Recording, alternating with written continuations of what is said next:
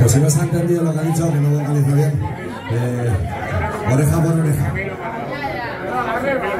La de la vivienda esta, ¿no?